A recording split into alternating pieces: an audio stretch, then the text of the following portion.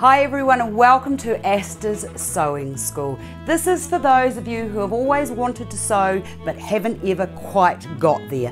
I've shown you how to thread the sewing machine so you can check back to see how you do that. A couple of weeks ago, I showed you how to make this beautiful bed comforter, or I call it the eco-friendly um, bed throw, and it's all beautiful linen. It's lined with beautiful, beautiful cotton, and it's got a lovely linen lining. Now you can check on how to make that as well. Now that's the real easy, easy approach to making something. So that is what is going to be one of the things on my bed. We'll get rid of that. Now this is the other thing that I wanted to show you, and I thought that this would be a fantastic project to start for those of you who are just new to sewing because I know that by the time that you have made this, your straight stitching will be absolutely absolutely perfect. So what it is, is it's about two meters of fabric and what I've done is I've lined the back with a nice beautiful quilted silk and then I've padded all of these little wee sows here, or little puffy sows with, and there's several things that you can use to do that, but I used um, lovely wool. But anyway, it's really, really easy to make. It does take 30 hours, and if you do, well, I do insist that you do this because you will be an expert sewer by the time you've done all of these. First things first, you've got to measure the width of your bed and the length of your bed and determine how far you want the little puffy cells to fall down the sides. Also remember that it is going to be quite heavy when you've got it on your bed. So it really only needs to go on the bed, but I'll show you what it looks like when it's finished in due course. Right, let's get rid of that. Now, you need, as I said, some lining or some, well, you need some backing. You also need some top fabric, and I've selected this again because I like things to be matching. You also need a backing or a lining to go underneath each of the cells. You also need some wadding or some padding. You can either use the Dacron, you don't use feathers. I did one with feathers once because feathers are really hard to deal with because if you don't get them all enclosed, you'll have feathers all over the house. The other thing that you can use is you can use some of this rubber, but I don't know about sleeping under rubber. I would rather have the Dacron or the wool, my personally myself. You also need two pieces of card, and you need two two two pieces. You need one in a size that suits you. My, this piece here is going to be my top cell or my top piece of my fabric, and that's eight and a half inches by eight and a half inches by eight and a half inches by eight and a half inches square. And the base or template is going to be, I think I made that seven and a half by seven and a half. So the top one needs to be bigger by, depending on how big you want your puffs, I've only made this about half an inch because I don't want to have too much in packing in it because it, as I said, it gets too heavy. Right, from there, the first thing you need to do is to get your fabric and get that all nice and straight and make sure that all your fabric coming together is all nice and straight. Once you've got your template cut out, it's just a matter of laying it down there. You could do this the other way around, but it doesn't matter. I'm just going to do this way. And you just need to mark with a pencil or you can use proper dressmaking chalk, but I usually always have a pencil around, so that will do me. Right, that needs to all be scored across there. Then what you need to do is to come back, make sure everything is square. And the great thing about this project is everything's got to be precise because if it's not and you go to sew everything up which i'll show you in a minute if it's not all squared you're going to hate yourself because all the, if, and i figure that if you're going to do anything do it properly or don't bother doing it at all because it's just a big waste of money and it's all frustrating. Right, once you've done that, the next thing is to go across and cut through those marked lines all the way across and then cut up those other lines.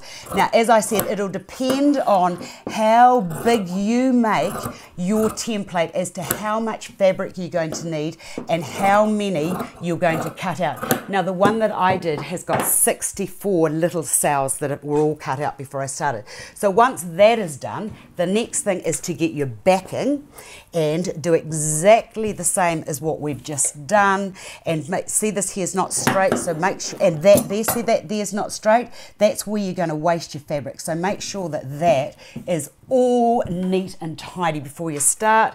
There's my base template, or actually it's my lining. I'm going to cut that across there before I start, just so that we're all neat and tidy before we get into this project. Right, exactly the same process. Make sure that this is square and this is square, and then just take that through to there take that one through to there and I'll go right across here because I don't want to be wasting. And the other thing is, might I suggest that you do all of this before, get all your squares, all your templates, everything all done before you actually start sewing because it is so fiddly if you don't get it right. Okay, from there, cutting that out like so.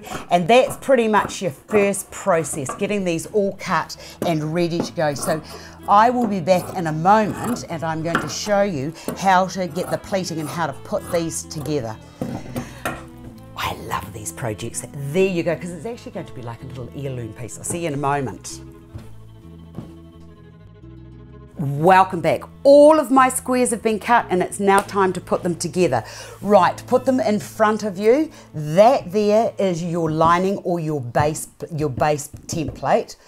Then what you need to do is to get the top layer and bring both those edges, that edge and that edge together and put a pin in it.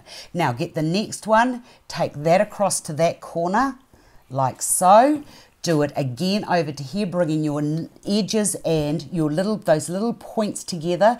And as I said before every single thing that you do now has to be all very precise and all neat and tidy. Right from there the next thing is to take your fabric along and to put a little pleat or a little fold there from there, you go around to the other side and you do exactly the same, pulling that tight and making sure that all that edge and that edge are nice and lined up. And then we'll go around to this side and we'll do exactly the same. Now you could go through and mark these in the middle but you know you don't really need to do that for goodness sake. We haven't got all day to do this. Okay so from there the next thing to do is to and leave one of the little cell, each of the cells open. Now the next thing is to sew along there to that point there, turn it around, come across to here, and then come across to here, and then backstitch each time that you do it, so that when you go to fill them up, the stitching doesn't come away. Now, with the magic of a television, I've actually done that, and here they are here. So that's one that I've done now, you can't really see that stitching, and I thought I had one in black here, but however, I don't. Here's one. We'll look at this one here as an example. So that's where I've done. See how I've, I've back stitched across there, uh, down to there, across to there, and then up to there. Now, once you have done that, it's a matter of bringing two together. Make sure that you leave the open, those bits there open. Once you've sewn those two together, it's then a matter of sewing the next lot together, making sure that that's open and that's open. You get those together like that and then bring those together. And these, as I keep going on, and I have to say this, make sure that all of your edges all come together because if that is like that and you go to sew them all up together, you are not going to like yourself because that won't match up. So bring that to there, pin across there. So lots and lots and lots of pinning.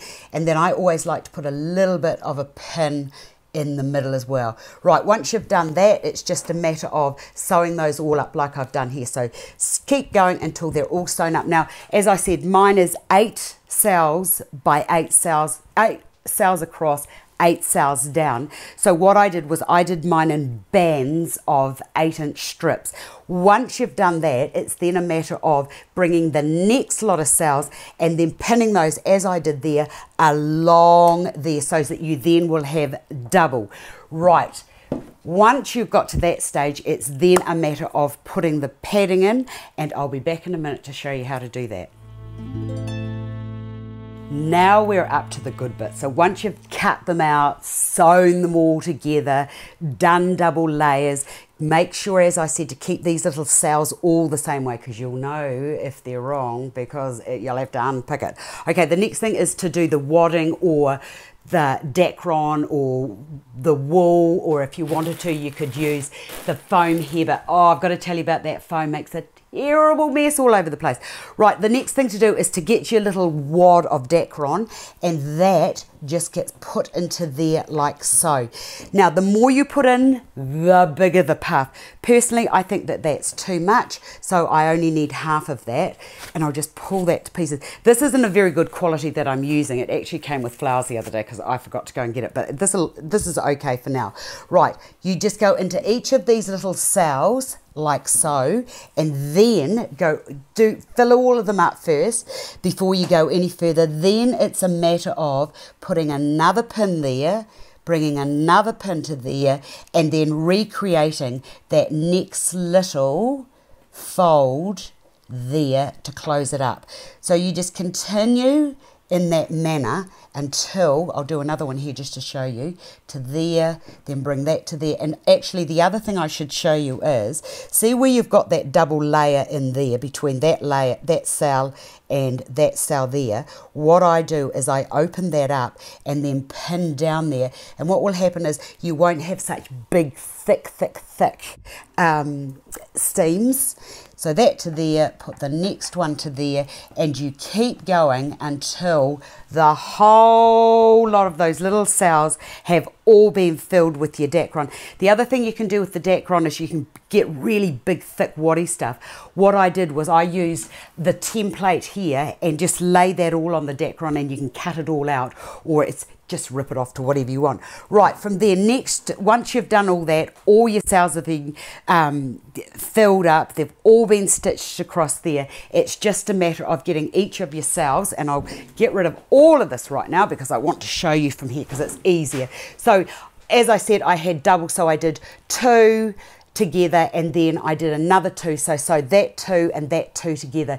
And it's easier to work in small portions than to just have one and then sew across and then do another strip and sew it across because it gets really really heavy. And when it comes to bringing everything together, you are you're best to get somebody to help you. Now from there, the next thing is once all that's been done, what I did was I laid it down and then and I've shown you how to do this lots and lots of times. This is when it comes to do sort of like your enveloping or to apply your backing or to do your bagging out. And you can see that in lots of things that I've done. So that there, the backing just gets put onto the right side and I think somewhere I have, here it is. So you just bring your two right sides together and then stitch all around, leave a really big opening because you've got to get all of those puffs out through there. And then that's just once you've done that, like clip your edges as I've shown you lots of other times. And then this is really easy doing it this way, but you did not want to see me struggling. But anyway, make sure you clip your edges and then turn the, invert that to right sides like so. And then you'll have to give it a good shake out when you get to the other end. And then on here, get rid of all of that. When you have it where you've turned it in, actually can't see it because I've hand sewed it. But where I've turned it the right sides down here, I actually hand stitched that. There are still just a little wee few loose ends of fabric, but that's okay. So once you get to there, let's turn it over. Let's have a look at it. And I need to show you two things that I told you right at the beginning that were really, really vital. When I said that everything had to meet up and be absolute precise, edges to edges, the reason I wanted to, I told you that was because this here, when you see there, I've got these are all neat and tidy running this way, but it's when you bring your cells together that if you are not in the right alignment, this is what will happen. But I was able to fudge the whole thing by just pulling it a little as I went. But to me, that really annoys me because that's not nice and neat. So that line should just be running through there. But anyway, it doesn't really matter because you can't see it. It'll annoy me. It won't annoy you because it won't be on your bed. But really, really lovely heirloom piece. Really lovely and warm easy to make and it will make you into an expert sewer because soon we're going on to making frocks and all sorts of garments. I hope you've enjoyed that. I've really enjoyed showing you how to do it. I will see you another day.